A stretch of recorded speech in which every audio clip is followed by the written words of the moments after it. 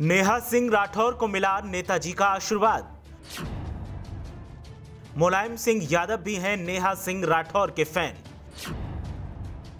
नेहा सिंह राठौर के गाने नेताजी को हैं बेहद पसंद।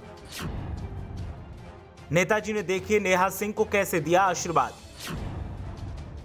कौन सा गाना सबसे ज़्यादा है नेताजी को पसंद?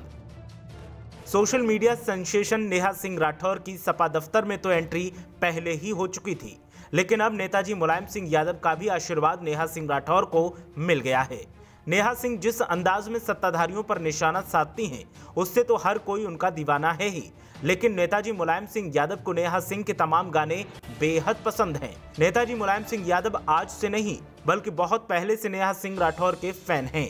नेताजी को नेहा सिंह के बारे में सपा नेता आशु मलिक ने बताया था। आशु मलिक नेताजी मुलायम सिंह यादव के काफ़ी करीबी माने जाते हैं और हर हफ़्ते नेताजी मुलायम सिंह यादव से वो मिलने भी जाते रहते हैं। ऐसे में आशु मलिक ने भी तमाम गाने सपा के रिलीज़ किए हैं और जब नेताजी से आशु मलिक मिलने गए तो उन्होंने अपने लैपटॉप से नेहा सिंह राठौर का गाना सुनवाया, जिसके बाद नेताजी मुलायम सिंह यादव, नेहा सिंह राठौर के फ़ैन हो गए। और नेताजी ने नेहा सिंह के तमाम गाने भी सुने। सूत्रों की माने तो नेताजी मुलायम सिंह यादव ने नेहा सिंह राठौर को आशीर्वाद दिया है।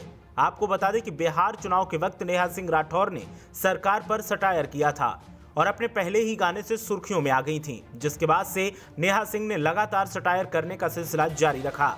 खास तौर पर उत्तर प्रदेश के चुनाव के वक्त नेहा सिंह ने यूपी में काबा गाने की पूरी एक सीरीज़ रिलीज़ की है और नेहा सिंह राठौर के हर गाने को मुकम्मल मकबूलियत भी मिली है। नेहा सिंह राठौर लगातार सुर्खियों में छाई हुई हैं और एक के बाद एक नए गाने रिलीज़ कर रही हैं। नेहा सिंह राठौर पर अक्सर सपा परस्ती का आरोप लगता है और सत्ताधारी बीजेपी के लोग नेहा सिंह राठौर पर सपा से पैसे लेकर गाने बनाने का आरोप लगाते हैं। लेकिन नेहा सिंह राठौर का कहना है कि वो गाने सिर्फ़ और सिर्फ़ सामाजिक मुद्दों को ध्यान में रखकर बनाती हैं और किसी से कोई पैसा नहीं लेती।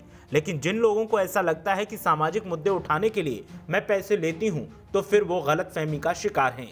नेहा सिंह राठौर का मानना है कि प्रदेश की सामाजिक स्थिति से वो काफ़ी वाकिफ हैं और जो हालात बन रहे हैं, उनको एक पढ़े लिखे नागरिक के तौर पर शांत होकर देखना उनके फितरत में शामिल नहीं है।